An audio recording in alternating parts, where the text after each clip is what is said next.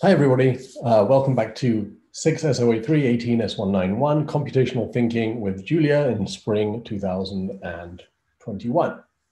So today we're going to, so we're in the probability module, probability, statistics, data science. Today we're going to look at how we can use probability to make a model of a um, process of something that is changing in time.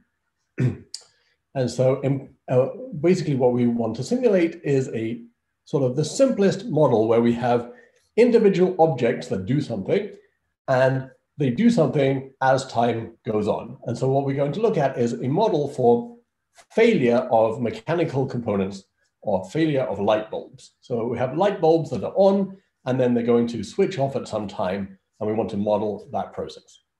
So um, some pieces of Julia that we're going to see today are how we can take a function that is in some package, which is not base, and extend that. So how we can define new methods on that function that operate on new types that we define. We've already seen how to do that with uh, functions from base Julia, which is this sort of uh, base, basic library that Julia always provides.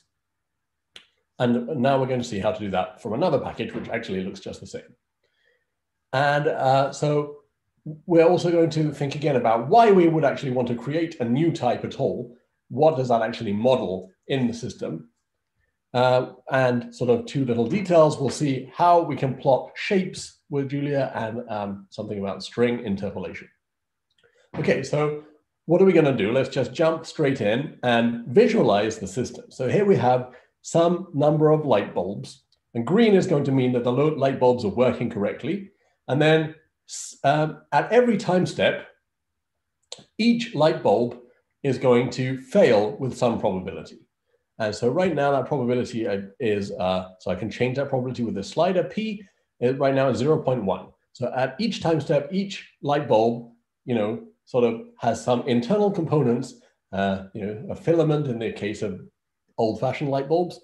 And uh, that has a probability that on each day, let's say, that will actually fail. And then the light bulb, light bulb, light bulb will turn off. And so what that looks like is this. And when I move to the next time step, um, you see that these three light bulbs are about to fail.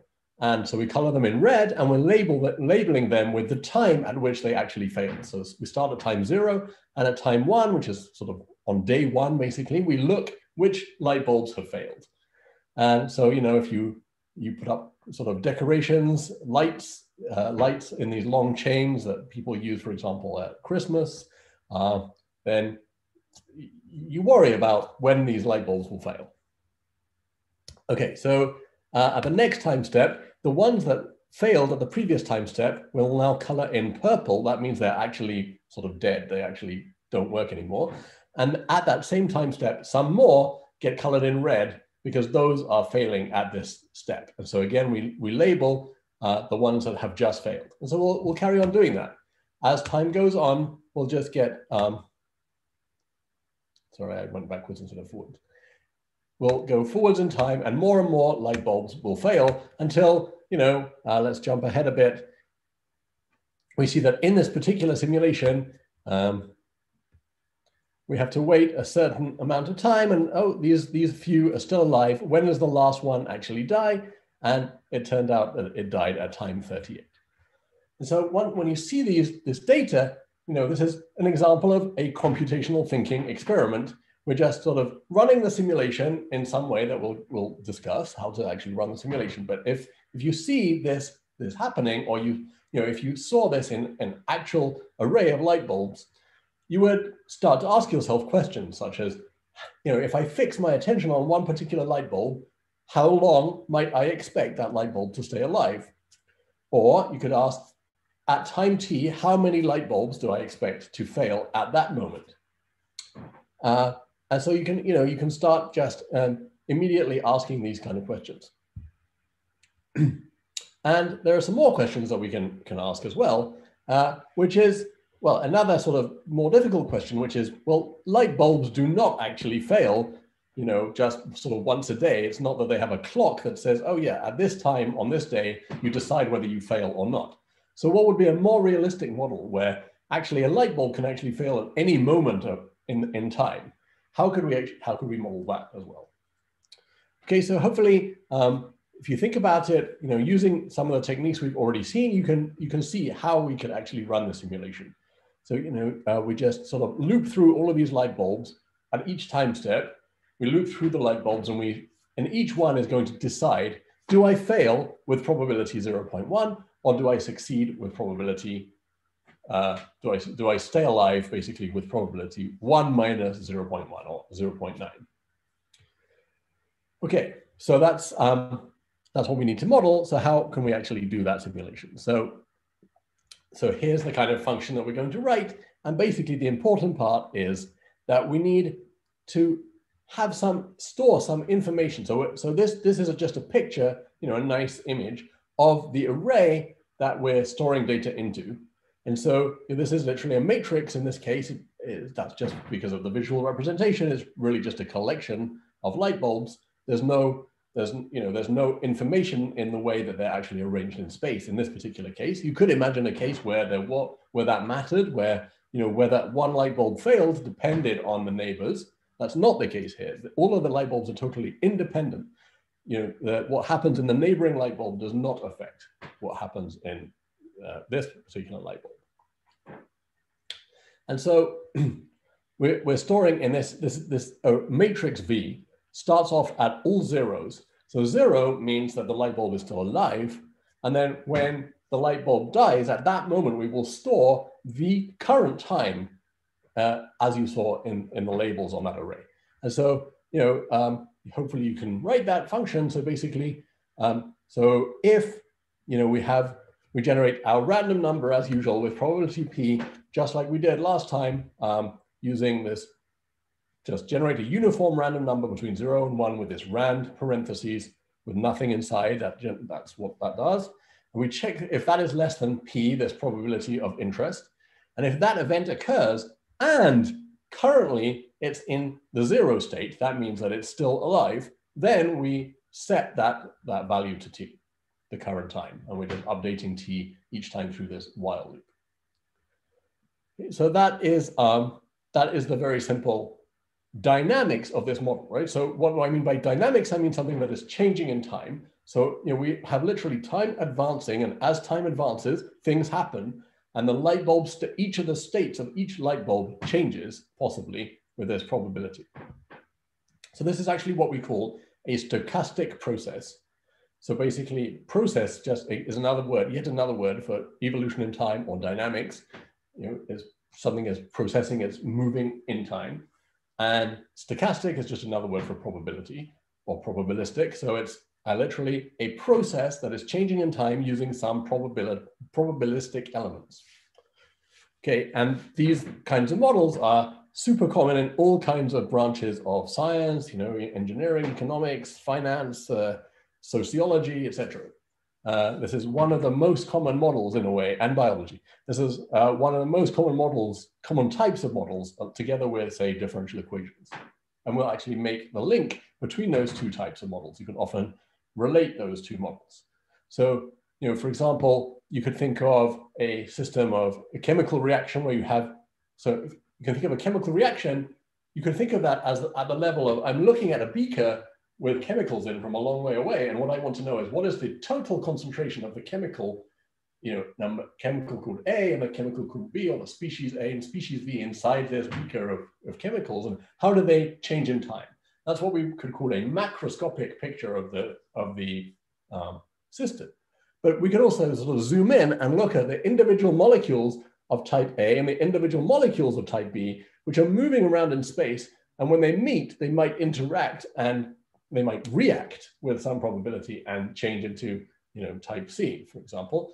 And so we have these sort of duality between whether you want to do this microscopic or uh, description where you model each molecule moving around. That's what we're calling an individual-based model or an agent-based model. But you, but you might want to model it at the level of the total system and just look at the total number of molecules in each state, which is a macroscopic model.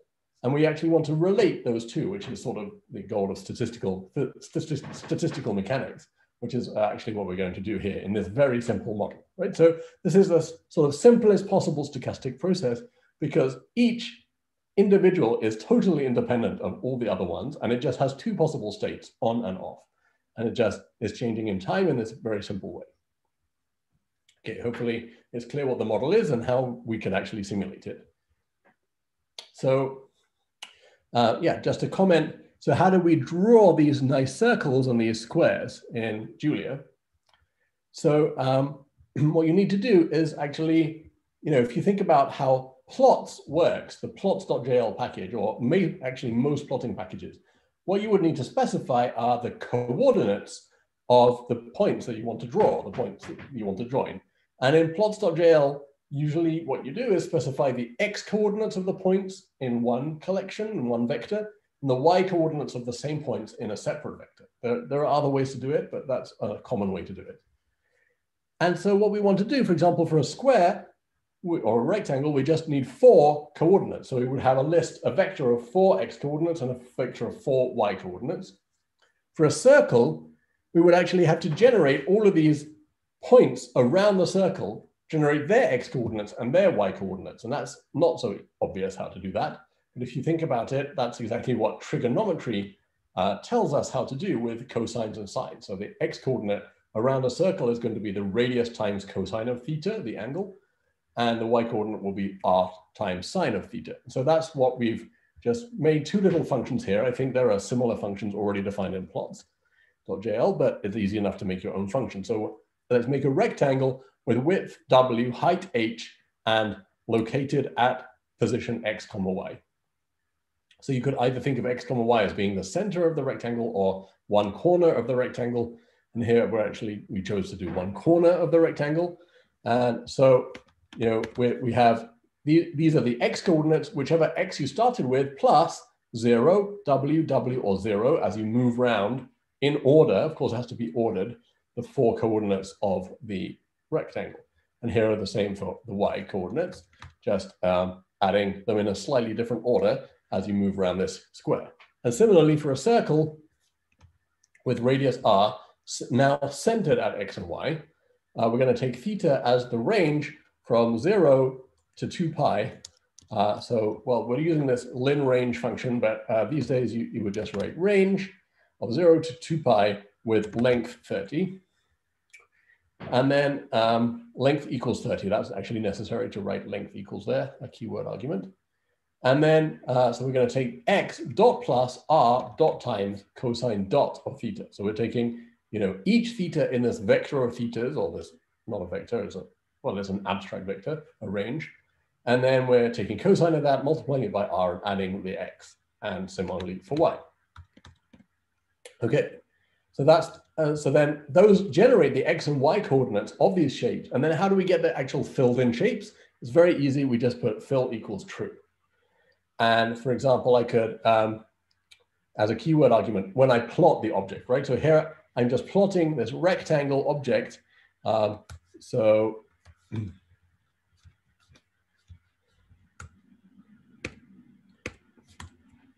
uh, this rectangle object gives me back the two vectors, the x and y vectors, and that's what you pass into this plot command.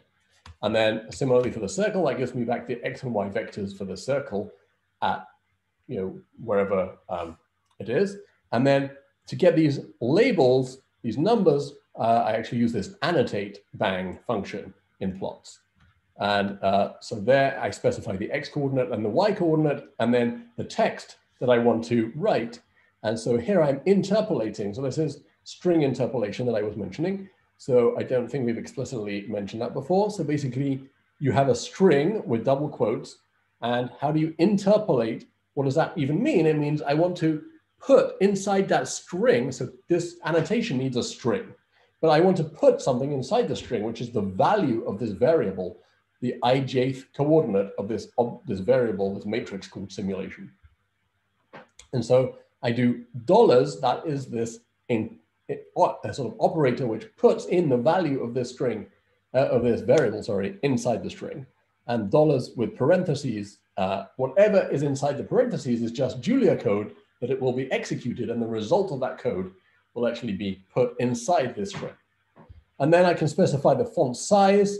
I don't even need the word font there. I just put the size seven and um, I, I, give a color and that will um, annotate those labels. So for example, if I change this to green, it will, it will give me green labels, etc. And finally, I can put fill equals true, but I can, uh, and this alpha equals 0.5 is not actually doing anything there. So I need fill alpha, and then I get a sort of transparent fill here in the, um, it should do anyway. No, I didn't. Okay, not, sure what's going on there. I thought that should have worked. Oh, I did the wrong one, sorry. Uh, this is the, the circle. Fill alpha equals true should give me a sort of a, a Okay, that's not what I was expecting either. So maybe it is just alpha then.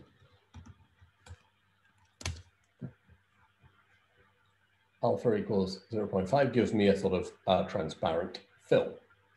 Okay, so that's a pretty useful uh, thing for to, to, draw nice plots. Okay, so you can see that, you know, um, if you're thinking of wanting to draw an, a figure, um, Oh, uh, yeah, somebody is asking uh, when trying to open a JL file, this simple simulation.jl could not be loaded. Please report this error. I'm not actually sure what that is about, but that's actually the wrong, uh, the wrong notebook. We're not using simple simulation, we're using simulating component failure. Hopefully that one will work. Okay, so yeah, what I was saying was uh, when you want to, you know, draw a figure for, you know, a I don't know, some a paper or a, you know, a, what do you call it, an essay that you're writing for a class, you might think of going to a tool like Illustrator or Inkscape, uh, where you sort of man, or even PowerPoint, where you manually draw, you know, lines and discs and things, and you can sort of manually resize them. But this is now giving us a pretty powerful tool where we can programmatically sort of specify exactly the coordinates of uh, the objects that we want to place and how we want to place them on which color. And we have much more control. You can do loops uh, much more easily because we have an actual programming language, right? So of course, it's always quicker, quicker and easier to, to drag a few, few circles if there's just a few of them. But if you want to do something like this, you know, it will look worse in PowerPoint actually, because you, it, it will be harder to line everything up properly, etc. Okay, that's a challenge for PowerPoint experts to make it look nice. Okay, so now what, what, do we want to do? So the first thing we might think of doing is just let's count up the number of these things that are green, red, and purple at each time step. Just a minute.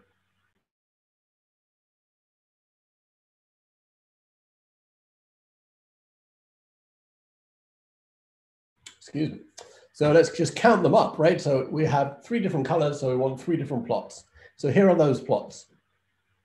So how can we get those? We just literally count, you know, the number that, so it's, it's slightly difficult because the, uh, the data that we're storing, uh, we're just storing this final number when they finally turn purple. And so we have to distinguish the, the different colors by sort of what information is stored in this matrix. So you can think about how to do that. And then, you know, the answer is sort of in the code or an answer, a way of doing it.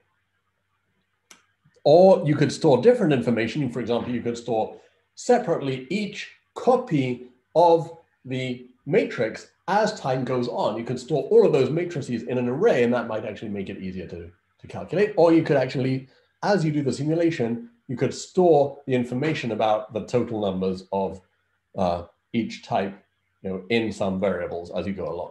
So there are lots of ways of doing it. They're all kind of right, and they're all maybe easier or harder in different circumstances. Anyway, so let's plot the numbers of each of these things. So first of all, let's plot the number of purples as time goes on. And I'm just going to add, you know, uh, more time there. And um, so there we go. So this is time on the horizontal axis. So by time 27, you know, we see that, uh, so there's a hundred, this is, uh, let's just make it 10 by 10 uh, to make it easier to remember that there are now going to be 100 of these um, things, light bulbs. There we go. And so out of those 100 by time 27, we can see that most of them have already failed. And then here's the green on top of that same curve. Here's the, the greens, which are the number which are still alive, right? So we start with 100 alive, and we see that this is exactly complementary to the number that have failed, of course. So, um, and then the number which at each time step are uh, failing, let's say, is this, this curve here. And so you can see that these curves are actually look quite nice and smooth, whereas this curve looks pretty uh, noisy. So why is that? It's basically because this curve is sort of the, this data is basically some kind of difference of this data here, or this data here is basically the integral or the, the cumulative sums of, of this data. And that operation, taking the integral or the cumulative sum, smooths out noise in the data. Right? So how can I get better data? Well, I could either take a bigger system or I could actually average over different simulations. So you can see that this is really, you know, I really have time moving on and I have some process going on. It's random or stochastic or probabilistic. And so this is sort of the picture of what a, a an example of a stochastic process looks like. Okay, so I already talked about string interpolation. Here's a nice, um, cute example. So here is, at this link, uh, is a, an image of Daniel Bernoulli. So we are using Bernoulli random variables, which I'll talk about again in a minute. And uh, so we're just grabbing his picture from Wikipedia or Wikimedia. And then that's at this URL, right? So it's an unfortunately long URL, but it's just it's just the address. You know, if I paste that into Chrome, it'll just show me that image as a JPEG. Now what I want to do is actually use that image in Pluto and be able to resize it interactively with this slider called Bernoulli width. And so you can see that when I slide this, here is the picture of Bernoulli, and as I slide it, the picture is actually changing size. That's the kind of cool effect that you can do with Pluto. So how are we doing that? So what we, what we need to do is actually use an HTML command. So this string here is actually HTML code. And it turns out that you write this sort of less than, and then there's this img for image tag, and you need to close the tag over here. And so I, I it, it's, it's similar to keyword arguments in Julia. So you, you write the name of sort of the keyword argument effectively, so here we have src, which means source. So whereas the source of my image is it's this URL, but that URL is a Julia string. And now I'm making another Julia string. So how am I going to put that value of that URL into the string? I just interpolate it with dollars, just like I was just saying. I really love this dynamic HTML. It's pretty fun. Yeah, great. I, I, can only imagine a lot of other fun things you might be able to do with that. Yeah.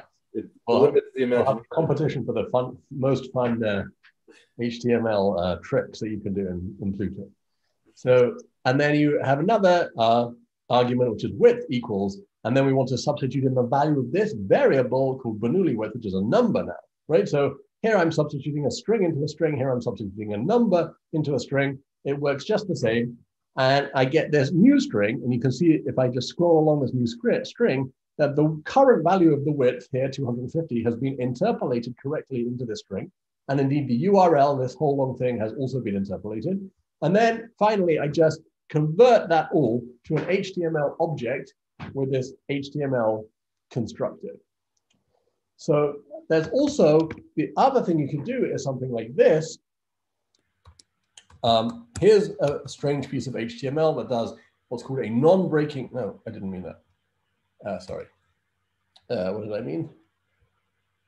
Uh, yeah, so let's do uh, sort of, hmm. What was I going to do? Yeah, okay, let's do three and then break and then four. So that makes this break makes a new line there. If I if I don't put that, I just put a space, it'll put them next to each other. If I put the break, it'll put them on a new line. And so this is a different, so I could have written this as HTML of the Julia string three break four.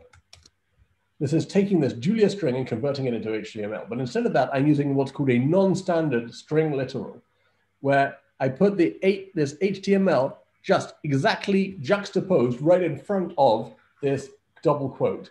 And that um, has the same effect as this, basically. So this is the very, this is quite a common thing to do in Julia. You can actually define your own non-standard string literals that interpret the string in a different way. So here, it's interpreting this string as HTML. It's basically doing the same thing as this. Dave, how easy would it be to have a, a slider going from one to 10 and then, you know, call that something, um, and then, and then um, put that number of breaks into the string? Oh, great, great question. Yeah. So uh, let's bind something. We'll I didn't literally mean something, but that's fine. Go for it. uh, I'll say num breaks slider 1 to 10 show value equals true. So what do we need to do? We need um, lots of breaks. So that's just going to be a Julia string. So how can we do that? So you can think of you know doing with a for loop, for example, but there's actually something called repeated, if I'm not mistaken. Repeat string breaks, uh, let's say five times. There we go that will just copy the string five times. So you could have actually done that like this. The string breaks to the power five that uh, actually does the same thing. Well, that's really cool. Yeah. So why does that do the same thing? Because in Julia, the way you do string concatenation is times.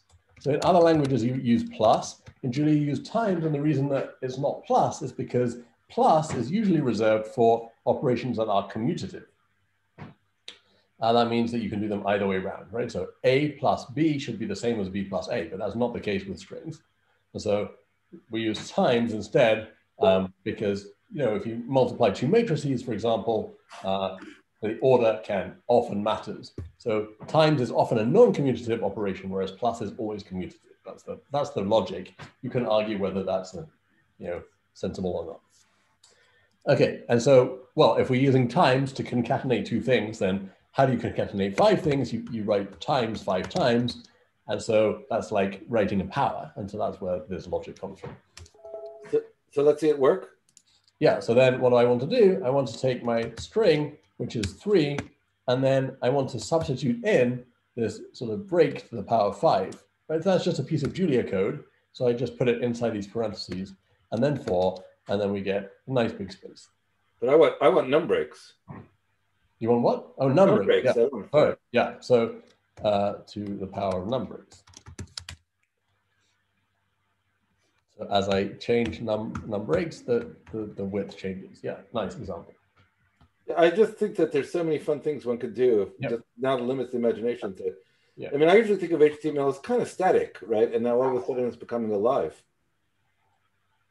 Right, so HTML in some sense is static, but once you mix JavaScript into the mix, you're actually able to script HTML and make it dynamic, and that's what JavaScript does. It's JavaScript, and you got Pluto and Julia. Right, so Pluto and Julia are using JavaScript to do this, right? That's the point. But, but it's hidden from you. It's sort of a nice interface to be able to use JavaScript in, in, in clever ways. Okay, so let's get back to the main story. So we have these light bulbs that are fading. So what is the math behind that? It's these Bernoulli random variables that we started talking about last time. So let's remember that a Bernoulli random variable, what does that mean? It, it, it models a weighted coin. So it takes the value one with probability P, that's one or heads with probability P, and zero with probability Q, uh, which is one minus P. That's often called Q. And so the total probability is one, uh, as it has to be for any probability. And we defined this function, if I remember correctly, I think we defined that before. Bernoulli of p equals rand less than p. So this is you know, true if this random number between zero and one uniform uh, is less than p, that happens with probability p. And so that is generating an event true, it generates the value true with probability p. So you know, if I just run it with, with 0.25 and I run it uh, several times, on average, I should expect to get true once every four times on average. But of course, it might not happen that you get it every four times. It might take 20 times, 20, 20 throws before, before you actually get a true. And then uh, down here, I've just taken, you know, 100 flips of this weighted coin I'm converting them to int. Uh, so I get a zero or a one out. Okay. So what could we ask about this so what, what again, what is a random variable? It's this sort of, you know, conceptually from a computational, computational thinking point of view, it's an object, it's a something which every time you run a simulation, you sort of look at the value of this object that, that, that, comes out of the simulation and it, and it takes different values on. Those values occur with some frequencies and the uh, frequencies are the probabilities that we're talking about. So what does it mean to take value one with probability P? Means in this uh, limit where we take a large, huge number of trials, uh, approximately a fraction P of them, a proportion P of them will be true.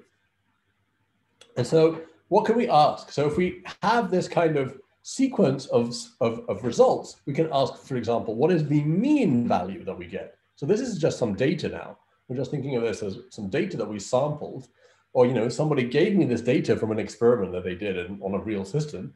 You could just say, well, I'm just going to do some data analysis on this. What could I, what's the first thing I, I do? I calculate the mean, the average. So what's the average value of this? Well, if you think about it, you know, you're just going to sum, sum up all of these values and then divide by the number of them. And so that should actually give me approximately P again, right? So the mean should be P. And so if I literally take the mean of this data, uh, here, this data is called flips, I'm taking the mean of it, it gives me 0.24, which is approximately 0.25, which I is the P I put in. And if I keep running this, every time I'll get a different value for the mean, as you can see down here. And so you know, if you do this, if you think of this experiment as sort of flipping 100 coins and calculating the mean, that's actually giving you a new, a new random variable actually. Now the random variable takes on not, uh, it doesn't take on integer values, now it takes on floating point values or, or real values. And then you could ask for information about this object. For example, what is its mean and what is its standard deviation, etc. So that's an interesting question. And um, we won't go into that right now, but think about that, or you know, just do an experiment. So generate some data for this new random variable and calculate its mean and its its variance. And what do you notice? What what is its distribution? You can plot its histogram, etc. Okay. And then you know, exercise calculate the variance of a Bernoulli random variable um, analytically. Okay. So so we already saw this but okay, let's think, what is a Bernoulli random variable? It's some kind of mathematical object that's pretty difficult to describe, actually. It's kind of abstract. It's it's difficult to get your hands on what it is. Is it, is it a function? Where does it go from? Where does it go to, etc.? I don't see it as difficult. My big problem, just to be clear, is I never remember that Bernoulli means like a coin that's going to be 25% of the time heads. Like like I always just forget that it's Bernoulli means that. Right. Like I almost feel like I need a little post-it next to my computer. Bernoulli of P means that a heads will come up with probability P. Yeah, it could just be called coin flip, but it's just yeah. to weighted coin flip of 0.25 yeah. would mean a right. lot more than Bernoulli to me. I agree. Yeah. Uh, it's just to honor, you know, honor the Bernoulli family, which was uh, crucial in founding probability in the 17th century. I don't think Jacob would care anymore. you might be right. Okay, it's also difficult to spell. Um, okay, so anyway, so what is this object called a Bernoulli random variable? We don't actually really care what it is mathematically, at least in this course. What we care is how do we represent it computationally? And so here what I'm doing is just having a function that is re returning a random value, right? But what if I wanted to now, uh, so we can calculate, we know what the mean of this Bernoulli random variable is analytically exactly. And so we want a way of sort of telling the user or the computer that information. So we're going to start accumulating information about, about this random, this particular random variable. For example, also there's standard deviation and there's, I don't know, distribution function, etc. We want to associate all of that information with this one with, with, this one thing called a Bernoulli random variable. You've got a mean, you've got a sample mean of 0.27. Is that not the mean? That is a good point. This, I could call that a sample mean. That's a good, good, good point. Let's call that sample mean. Uh, so sample mean of data is sum of data over length of data. Length of data. And then sample mean of this data flips. The sample mean changes each time. If I could take an infinite sized um, uh, set of data, then I would hope that this sample mean gave me what's called the population mean or the true mean uh, of the sort of underlying theoretical object, which is going to be exactly this value of p that I put in. Yeah, great point. Okay, so anyway, the point is I'm accumulating all this information about a, a thing called a Bernoulli random variable. So how could I actually encode that computationally? And we've actually already seen the answer to that. And the answer is make it into a type. So make it a new type for this object. So let's actually make an object called Bernoulli. Uh, so now maybe you would prefer to make it called weighted coin flip. But since we have to learn the word Bernoulli, let's just call it Bernoulli. So let's just put a, a remark, weighted coin flip. Uh, so we're going to have the weight, right? The probability that it comes up heads, which is P, which, will be our float 64, for example. And then what else, what other information do we have about a Bernoulli random variable? The answer is we do not have any other information about it. That the entire information lives in just that one number P. Uh, I mean, the entire sort of internal information about it. And then, well, that's not quite true, but uh, what we will now want to do is actually define functions that act on this object that will give us everything else, right? So we want to be able to, for example, sample from it. In other words, run the experiment, run a Bernoulli random variable and generate a, what's called a random variate, uh, the outcome of, an of this experiment. And the natural, so you might think, oh, I, yeah, so we already wrote a function to do that, which was Bernoulli with a little b. So types in Julia always start with capital letters. And um, so what would be a suitable function to do that? Well, we've actually already seen a suitable function, which is the rand function we saw a couple of lectures ago. Rand samples randomly from objects, right? So here we have an object and I want to sample randomly from it. But now random sampling from that object will mean generating you know, one with probability p and zero with probability one minus p. And so, well, we actually want to define our own version of RAND, which we, I don't think we actually did before. Uh, so how do we do that? We're going to extend the RAND function. And the RAND function lives in Julia's base library, this sort of library that has all the basic uh, functions inside. And so we're literally going to write a new method, a new function definition, a new version of this base got rand function. In other words, rand that lives in the base library. And it's going to act on an object of our new type. And so we, we write that with this type annotation, colon, colon, and this Bernoulli um, type, right, that we just defined. And what does it do? It does the same thing as we did before, it just generates a random number uniformly between zero and one and checks, is that less than P? But now the P that I'm interested in is the P that belongs to this Bernoulli random variable that I'm passing in. And so I use x dot p to select that value of p from inside that object. And then I'm converting it to an int.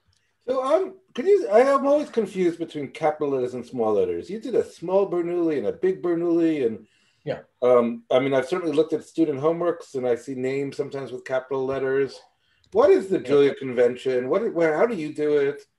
In Julia, the convention is that functions start with small letters, lowercase, and types start with uppercase. What about variable names? Functions and variable names. But, but I mean, letters. well, you've got a capital X right on the line above. Uh, good point.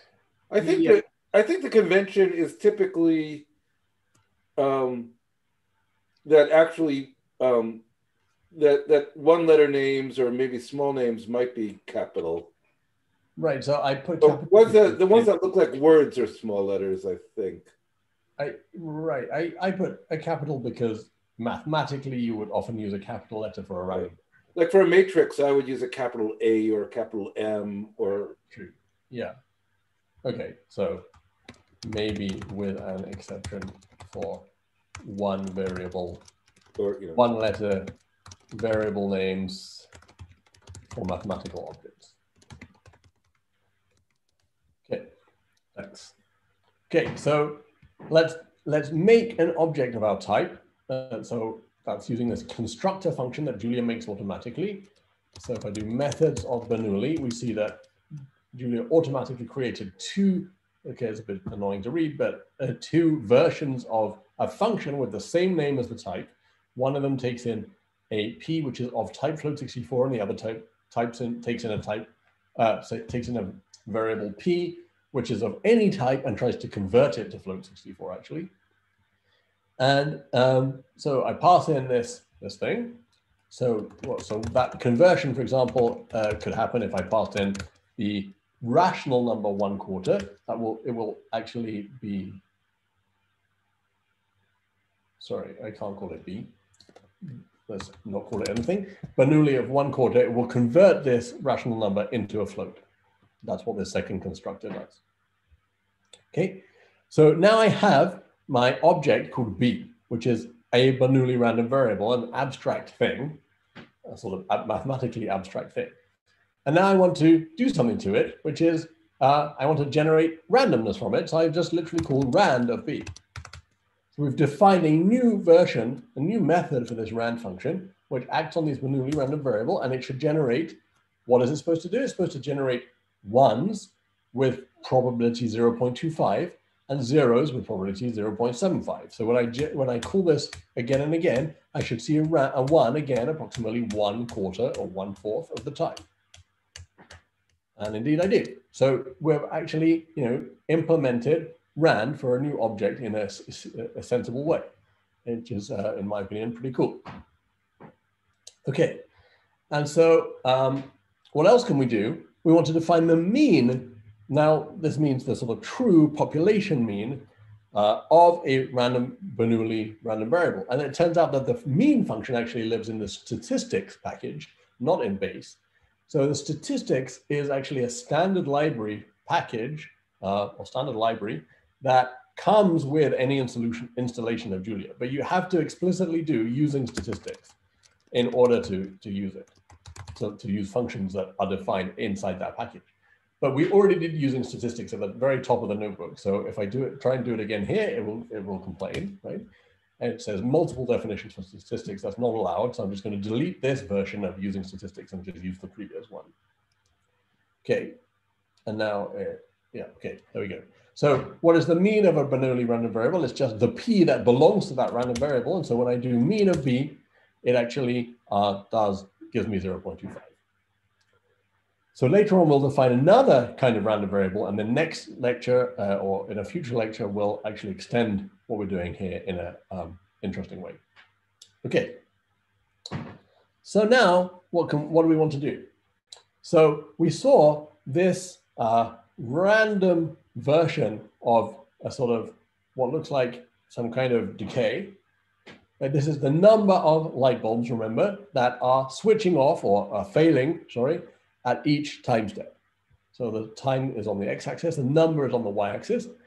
And uh, so as you go along, fewer and fewer fail, but that's because there are already fewer and fewer light bulbs that could fail because all the other ones have already failed. And so we want to model that, um, you know, and understand what's going on. So the first thing we can do is just literally run the simulation several times, right? So here are two runs of the simulation. And what we're seeing, uh, sorry, that's not the right Y label anymore, number of uh, sort of light bulbs which are still alive, right? So number of light bulbs that are alive.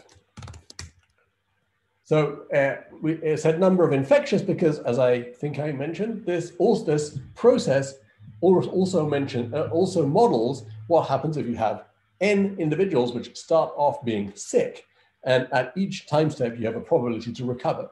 It also models radioactive decay. What happens if you have n nuclei that are radioactive, and at each time step, each one has a probability to, to recover, to, to decay, sorry, to decay and become unradioactive, and you know give off some uh, uh, some neutrons or something. Okay, alpha, alpha particles, I guess. So let me just run this simulation over and over again, right? So every time I call this sim simulate recovery, I called it, but simulate, you know, um, so we're running a simulation of a physical system. So we're simulating, you know, this is a stochastic simulation. Uh, what does simulation means? It mean it means that we are sort of reproducing something from the world in a simplified version inside the computer. So we're, you know, this is like uh, you have each of these represents different factories which have their own set of light bulbs, and you're just running the, you know, you're looking at what happens in each of those factories. And so as I run the simulation again and again, we, we, we see sort of the results from different factories. So now let's put all of those together on one graph. And here, so here we have um, So each, again, each time I run the simulation, it will give me a different plot. Oh no, it won't. Oh, sorry. Uh, no, I have to run this again and again. Uh, that's where I'm generating the data, and then I'm, here I'm just plotting it. So when I run this again and again, and I plot all those different curves for each different factory, you can see that, well, okay, the, the, the sort of shape is changing and sort of moving around a bit, but roughly it's doing the same thing. And so if you look at this curve, what's the immediate first reaction that you would you would think of? What, what, what do you want what do you want to do with this data? So once again, probably what you would say is, well, you know, each time I run it, it's sort of doing roughly the same thing. So the first thing I would probably think of is taking a mean again. Right? So if you fix your attention at 25, for example, t equals 25, you could just say, well, what's the average value right there? It's something like here. Then at 50, it's something like here. And you just do that same calculation for each time. And what, what happens is this. So here is the same data again, but now at each time, at each time step, I took the mean of all of the simulations at that time. So this is interesting because this is actually uh, what might be a new concept, which is I have functions, I have like random functions that behave in a certain way, and I'm taking the mean, not of data points, but I'm actually taking the mean of those random functions, if you like. Uh, so how do you take the mean of, of some functions? You just add up the functions and divide by the number of functions. This is exactly the same formula. You can even write it in exactly the same way in Julia. Okay, so now if I, if I, okay, so the mean is not everything, of course. There's also how much I vary away from the mean. How much is the spread right at, for example, again, time 25, it's sort of spread out away from the mean. And I want to know, well, how far away from the mean might I be? And in other words, in other words, I want some kind of variance or standard deviation of the data at time 25. And again, I could do the same thing all along, and I could get the sort of standard deviation as a function of time. Uh, and so you know, it's basically what we did last time, the same ideas, but now you're doing the same thing at each time step uh, in the stochastic process. Okay, but if we just focus attention on the mean for now, what do we notice about them, this, this function, this, this red curve? Well, it actually looks pretty smooth now. Right? So I've kind of averaged out all of the randomness and I get something that actually sort of smooth and doesn't look random at all, really. Know, maybe there's a bit of still a blip here, but basically it looks pretty smooth and non-random. So not something that's non-random or not random is called deterministic. So it looks like maybe there is a way that we could forget about all this randomness and just look at this sort of deterministic thing. Okay, so, and by the way, if we plot it on a semi-log graph, so we take a logarithmic scale in the y direction, we see that basically it's a straight line on that semi-log graph. And that is evidence that maybe this thing is decaying. So you could ask, how fast is this decaying? If it's a straight line on a semi-log graph, that means it's decaying exponentially fast. So there's some exponential function, basically the number still functioning at time t is something like e to the minus some constant times t with some other constant multiplying it. So c times exponential of minus lambda t for some lambda. Okay, so can we actually understand that? So we want uh, to study the time evolution of the mean, actually, right? So at each time, at time t, we want to take the mean, and I uh, have a, an issue with my notation. I thought we fixed that, but uh, apparently not. So this it is just uh, nt, the total number of um, light bulbs that are still alive at time t. So in the above graph, the number, uh, the total number that are alive is, in, is green, so we colored that in green here. And the total number that at a given time are failing is in red, so that's what this number is. So how many fail at time t? Well, at time t, there are, there are n t, n sub t, which are currently alive. And then each of those fails with probability p. So we need to know how many fail in total at that time. If there are n alive and each of them fails with probability p. So it's pretty intuitive to think that the mean is actually going to be n times p. So basically you have to add up the means of all of these things, and there are n of them, so you get n times p. So once you do that, um, then the change in the total number that are alive is however many are alive now minus however many failed at that moment. And so uh, basically we get this. The new number that are alive is the number that were alive previously minus the number that failed. And so that's nt minus p times nt. And then we get, uh, and so hence we get nt plus 1 is, so this is, you know, we can factor nt here, and we get 1 minus p times nt, or it. I for a number of infected people in the model of recovery. And so now we have what's called a recurrence relation, right? We, we, this tells me the number at the next time step in terms of the number at the current time step and this thing which is a, a constant. So now we have to solve this to find what nt is at time t, uh, find a formula for that. And so let's do one step. So it plus one is something in terms of it. If I do the same thing again, I get it is one minus p times it minus one here. And so it plus one is one minus p squared times n, uh, or I, I'm getting confused, sorry, it minus one. And if we carry on doing that and unfold all of these things, then we get down to the, the, the teeth, at time t, the total number is 1 minus p to the power t times the number that there were initially. And we've actually solved the whole problem. Uh, and that's the analytical solution. So now let's compare that um, to, uh, let's compare that to the numerics. So here's the numerics is in blue. That's the mean of the stochastic simulations that I did above.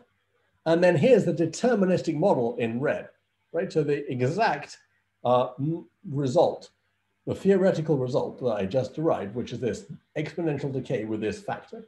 And we see that basically they are one, on, one of them is on top of the other.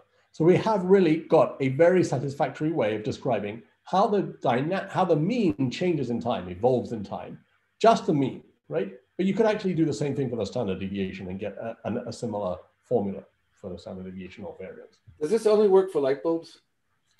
Yeah, so that's a very good question. So um, this is, you know, as I said, a very simple model, and we get a very simple result for the deterministic um, approximation.